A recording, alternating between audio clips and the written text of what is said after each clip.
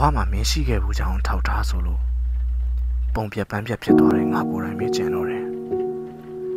ငါတို့ကတစ်တလုံးအတူရှိလို့ရပါတယ်ဒါပေမဲ့အတူရှိနေရင်တော့အတူဖြစ်နေတော့မှာမဟုတ်ဘူးမိသားတန်လန်းတွေကိုတွေ့တိုင်းငါဒါကိုပူနာလေလာခဲ့တယ်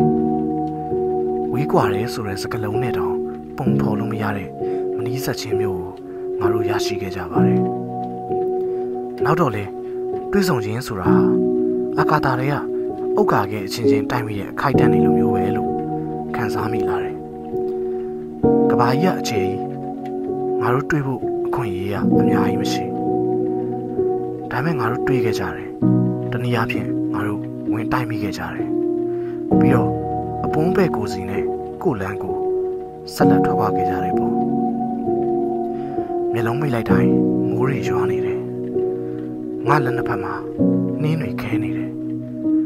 ငါတို့ဘယ်တော့မှစကားမပြောရကြတော့